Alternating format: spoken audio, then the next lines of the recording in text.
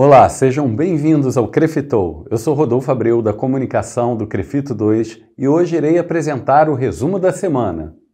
O Crefito 2 esteve presente essa semana em Brasília para solicitar a entrada em pauta do PL 988 de 2015, do Piso Salarial Nacional das Categorias, na Comissão de Finanças e Tributação da Câmara dos Deputados.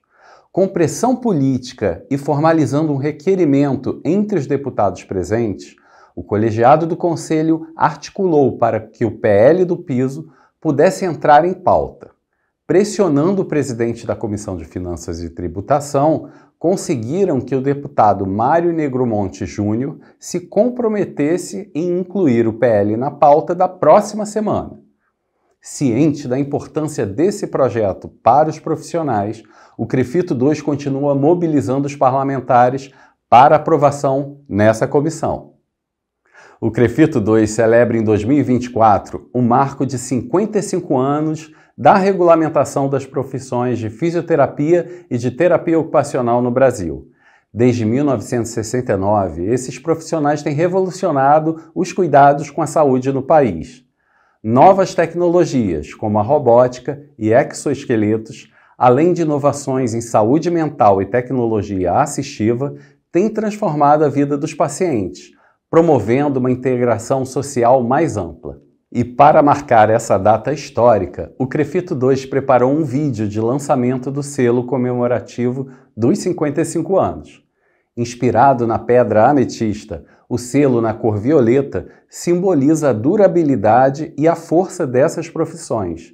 Resgata a origem da fisioterapia e da terapia ocupacional e projeta o futuro profissional, construindo uma ponte para um cuidado mais humanizado. A Secretaria de Estado de Juventude e Envelhecimento Saudável convidou o Crefito 2, que foi representado pelo conselheiro Dr. Rubens Guimarães, para participar de uma campanha especial em comemoração ao Dia Mundial de Prevenção de Quedas.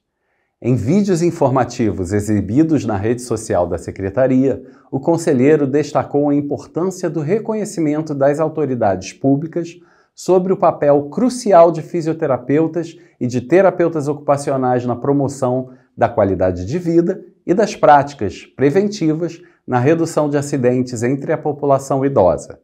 Tema esse também levantado na campanha anual do Conselho Passos Sem Tropeços.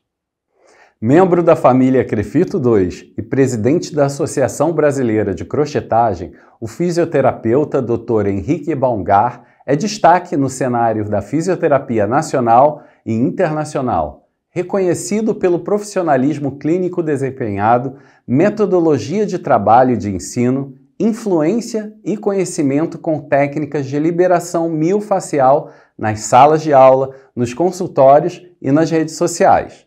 Seu profissionalismo representa para o Conselho o impacto positivo que tem exercido sobre a fisioterapia, inspirando e capacitando milhares de profissionais, incluindo também através de capacitações promovidas pelo Crefito 2.